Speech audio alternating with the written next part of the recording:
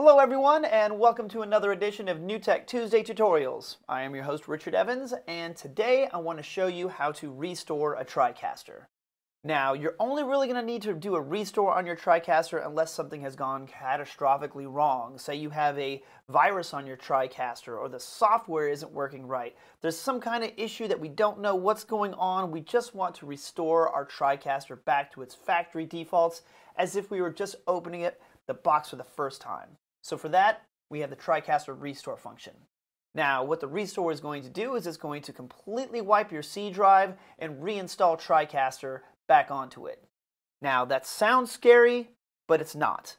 Because all of the media, your sessions, your macros, all of the data that you've already recorded is going to be stored on your separate drives on the TriCaster. So a restore will not even touch or look at those drives during this process. Now, there are a few ways to access the restore partition. Let me show you the easiest one first. Okay, so here we are in our TriCaster interface, and the first thing I want to show to you is a session that I've already built so that we can come back to it later once the restore is complete. So in this session, I only have one file playing of this antenna in my DDR, and that's just to make a mental note of what's here when we come back to it later. Now, there are a few ways to restore the TriCaster, and I'm going to show you all of them, but let me show you the easiest one first. First, let's exit this session and go all the way back to our main menu. Now, this interface may look a little bit different from what you are using. I am restoring a TriCaster Mini for this demonstration, but every TriCaster will have these options, but it may just look a little different. So you'll click Shutdown and exit to Administrator mode. And from this menu, we will choose the Backup or Restore System. Now this pop-up will display a registration code, so make sure you write it down for later use. Now once I start this restore process, the system will restart and boot up into the restore mode. From here, it will give you the choice to launch normally or backup and restore. Choose the backup and restore option using the arrow keys on your keyboard and press enter. Now this next menu will give you four options. Restore system partition to factory defaults, create user drive, restore system partition from user backup, or abort the restore.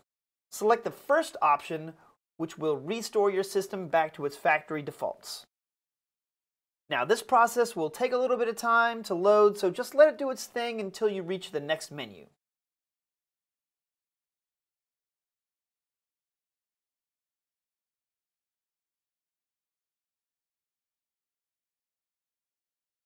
Now the next menu is the factory restore screen which will appear in big red letters and basically says that this action cannot be undone.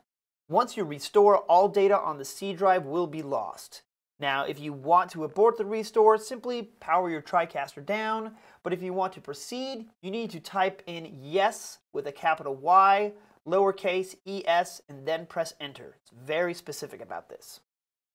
Now, and once you've done that, the restore is off and running.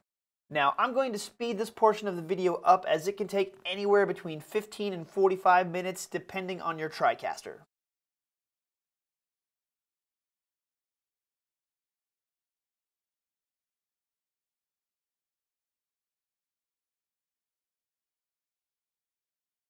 Now that the restore is finished, the menu will say power off or press reset to continue.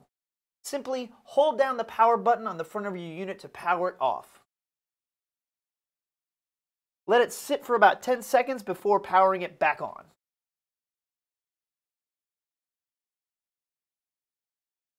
Now, once you power it back on, simply launch the TriCaster like you normally would. Now, after you've performed a restore, your TriCaster will be back on its default software that it's shipped with. I highly recommend updating your TriCaster after this step to make sure that you have the latest software build. But for this example, I'm going to cancel out of this window for now and open up the session I created before performing the restore.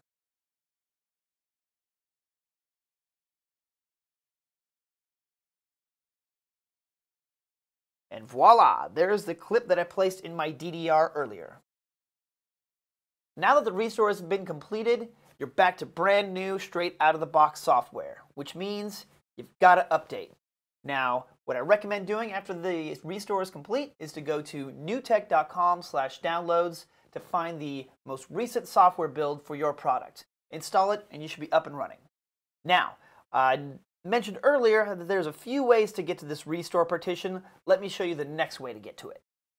Now in this example, let's say for some reason we simply cannot launch the TriCaster software to get to the administrator mode.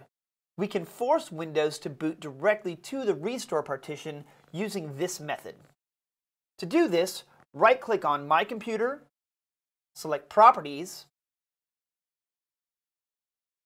Advanced System Settings.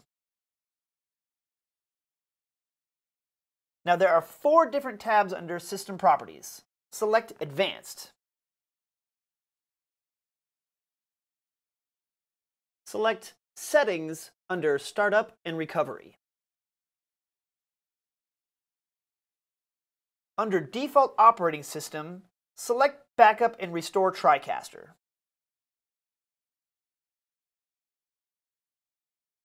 Now all I have to do is apply these settings, then simply reboot the TriCaster.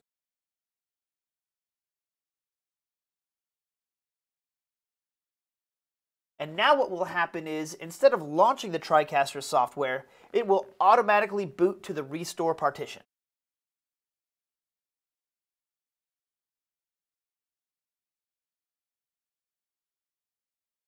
Now let's say that you can't get to the restore partition from either the TriCaster or Windows software. There's one more way to get to it. All you have to do is hold the power button down on the front of your TriCaster until it turns off completely, and then Press that power button again, and as soon as you've done that, start pressing the F8 key on your keyboard over and over again. This will interrupt its normal boot cycle and take you straight to the restore partition. Now, if you're still having issues with your TriCaster after you've done a restore and an update, please make sure to contact NewTek customer support. Now, if you like this tutorial video but want a little bit more, Make sure you go to newtek.com slash demo to sign up for a personalized demonstration by yours truly, and I'll show you all the ins and outs of our TriCaster systems. Also, if you're on Instagram, make sure to follow us and tag us in your post. We'd love to see how users are using TriCasters in their production.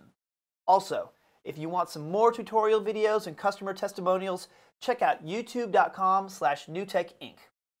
Until then, thank you for watching, and be sure to tune in next time for another edition of NewTek Tuesday Tutorials.